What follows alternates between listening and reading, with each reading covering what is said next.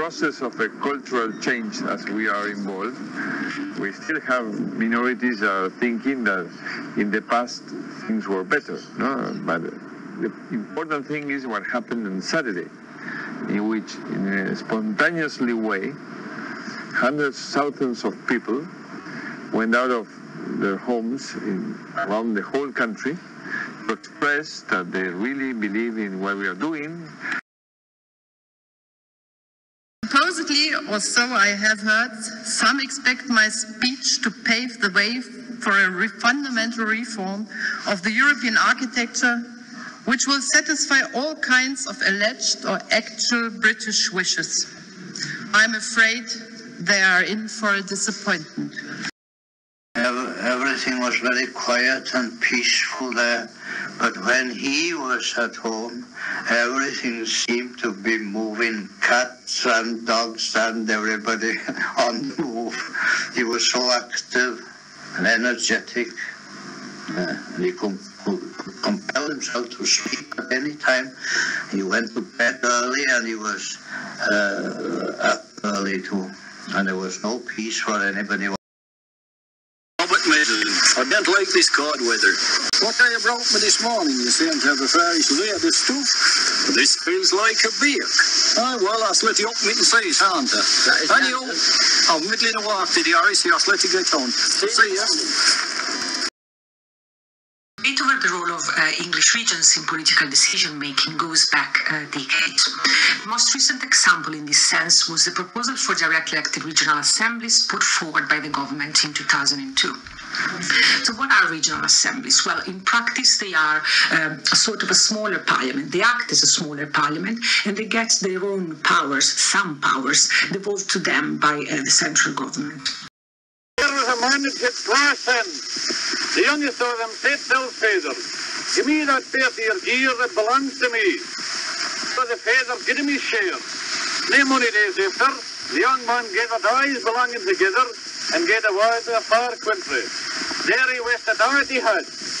When he had spent everything, a great famine came of the country, and he began to be in want. Well, if you want to use a modern term, it was a hegemonic power. I mean, it was occupying the place in the international order that the United States um, has occupied since the end of the Cold War. It was the big power. The British Empire was the biggest in the world. The British Navy was the biggest in the world. Britain was the world's greatest navy, the greatest world's, world's greatest trading power. And so the British really, I think, saw themselves as somehow the policemen of the world or, or, or responsible for the world. Now, There was a man who had four sons. The youngest of them said to his father, Give me that 30 year goods that belongs to me. So the father gave him his share. No many days afterward, the young man gathered all his belongings together and went away into a far country. There he wasted all that he had. When he had spent all things, a great famine came over the country, and he began to be in want. Well, come Tuesday, St. Paul were hauling hay from out here in uh, one of them grounds. The side lane were good till they were bad. I come up this way, see a couple of times be a load of hay. When I come back, well, Molly had to pull the culvert up. Well, instead of them bitching the policeman were and made her put him back in, send up Martin out her spade and shoveled it out and drove through. And all the time had made a queer squeaking pistering sound. And there was an ill vein with it. Afterwards, they found a queer, slimy kind of skin up in the gunnels of the boat, What had had rubbed the landing. The crew tried every trick they could think of to drive the crater away. They built ballast stains over the side, hoping that the best would follow them down the water. But nah, There was no cinemas in them days. We made our own fun. Wasn't even pictures. It was a lot of years when I got on. Like a lot of years. There's pictures then, but there were no pictures in my young days. We made our own fun. And we were happy, we were contented. And a penny was as much to us in them days as a shilling is now. I did get more for a penny sweets in them days than you got for sickness now.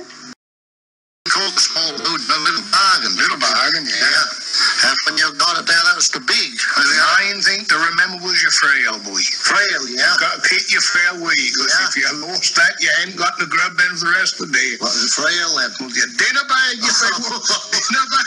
Oh. You gotta keep out of that. Yeah. Did you used to wear luggage? No, my father did, but I'm gonna be messed up with Yeah, that.